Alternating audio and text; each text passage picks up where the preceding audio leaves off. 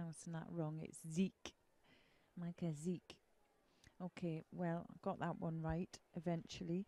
Uh, we're going to move through now into the second quarter final, and that is between Melore Rosetta from Italy, and uh, she's facing Alice Matějčková from Czech Republic.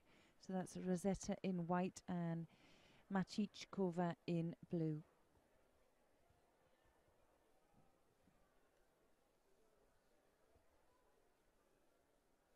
Well, only 10 judoka in uh, the under 78 kilogram category. Uh, so these two were straight into the quarter final.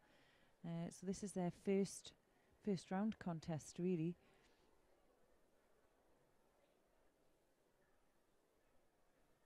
Strong grip there from Rosetta from Italy.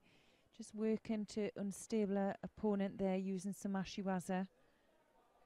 And see uh, Matějčková there picking up her first penalty uh, for passivity. Oh, nice Osoto attempt there and picks up the first score. Now looking for nice transition in. Newaza doesn't quite get that.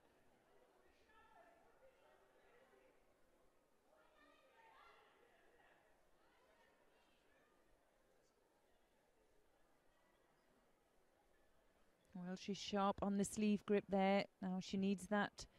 Uses that grip now to move her opponent, get some control. A nice switch to the left for the low Seoi-nage.